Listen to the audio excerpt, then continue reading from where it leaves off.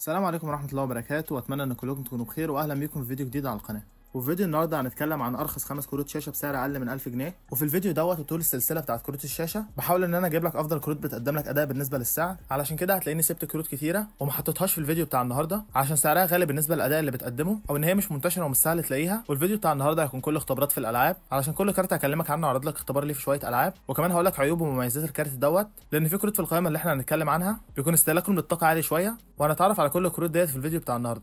خلينا نبدأ بأول كارت شاشة اقتصادي معانا وهنبدأ نعلي السعر والأداء طول ما إحنا ماشيين في الفيديو واحدة واحدة. وأرخص كارت معانا في فيديو النهارده وهو ال R 5 240 واللي حاليا سعره ما بين 350 ل 450 جنيه. والكارت بيجي ب 1 جيجا في رام جي دي دي آر 3 وبيستهلك 50 واط وممكن يشتغل على power 250 واط. والكارت دوت تم إصداره سنة 2013 وممكن تلاقي الكارت برده باسم تاني اللي هو HD 8570 والكارت دوت يعتبر ملوش عيوب بالسعر دوت. يعني بيقدم لك أداء ممتاز جدا تتوقعه من كارت ب 350 ل 450 جنيه. وهعرض لك الاختبار بتاع الكارت دوت مع الكارت اللي جاي بحيث إن أنت تشوف مقارنة ما بينهم ووفر عليك برده في الوقت علشان الفيديو ما يبقاش طويل. وبالنسبة للكارت التاني اللي معانا وهو ال GTS 450 واللي سعره حاليا 600 ل 850 جنيه والكارت بيجي ب 1 جيجا في رام جي دي دي آر 5 والكارت متوفر في السوق بأكتر من نسخة ومن عيوب الكارت هو الاستهلاك العالي للطاقة لأنه بيستهلك 106 واط لوحده وبيحتاج power 300 واط على الأقل عشان يشتغل. غير كده الكارت أداؤه ممتاز جدا وخلينا نشوف مقارنة بين الكارت دوت والكارت اللي فات. وطبعا الكارت اللي فات سعره أرخص فهيبقى أقل في الأداء. بس أنا بعرض لك الاختبارين مع بعض عشان تشوف فرق الأداء قد إيه.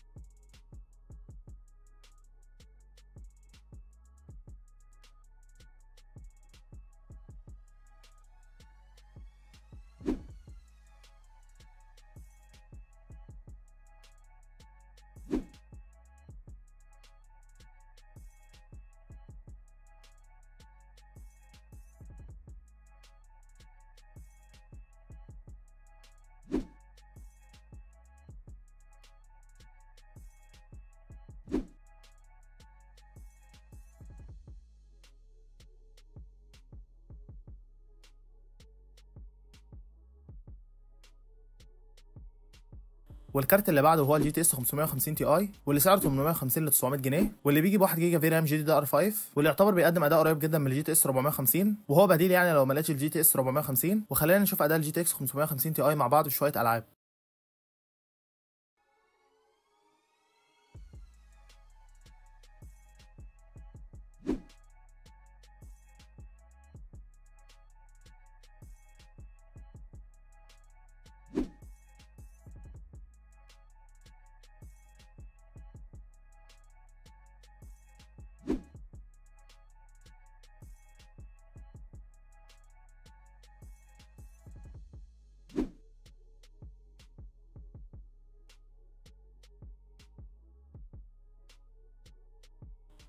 والكارت اللي بعده هو ال HD 6850 اللي بيجي ب 1 جيجا VRAM برده وهتلاقيه مستعمل في السوق بسعر 750 ل 1050 جنيه. والكارت بيستهلك 127 واط لوحده وممكن تشغله على power بداية من 300 واط وهعرض لك دلوقتي أداء الكارت في شوية ألعاب.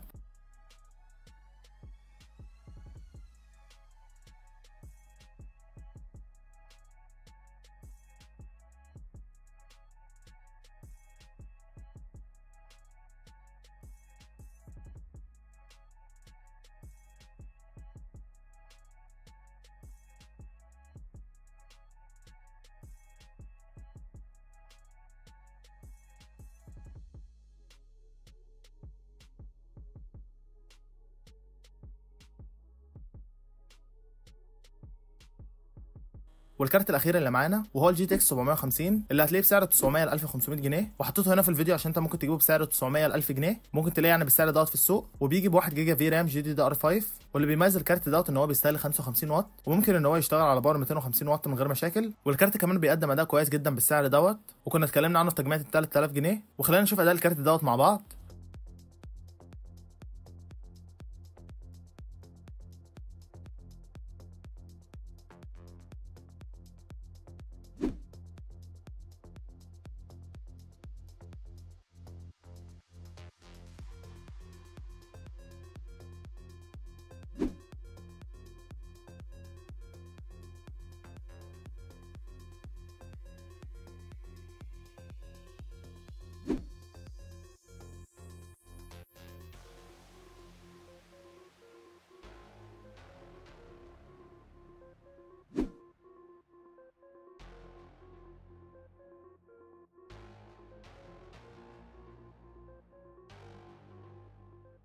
وممكن تلاقي اختلافات ان كارت بيبان اقوى من الكارت التاني في الاختبارات بس دوت علشان زي ما أنتم عارفين الكروت مش معايا عشان اجربها بنفسي. فأنا بلجأ لاختبارات موجودة على الإنترنت بقعد أجمع يعني اختبارات من أكتر من مكان فالأجهزة المستخدمة في ال benchmark وكمان الإعدادات بتبقى مختلفة من جهاز لجهاز لكن ترتيب الكروت زي ما رتبتهم لك في الفيديو كده من الأضعف للأقوى بشكل تصاعدي. ودولت كانوا خمس كروت شاشة تحت سعر ال 1000 جنيه وهيقدموا أفضل أداء من وجهة نظري وأنا بنستخدمهم في التجميعات اللي جاية. وبس كده يا صاحبي دوت كان فيديو النهارده. أتمنى يكون الفيديو أفادك وعجبك. ولو عندك أي استفسار اكتبه لي في comment واستنوني إن شاء الله في فيديو تاني قريب وسلام.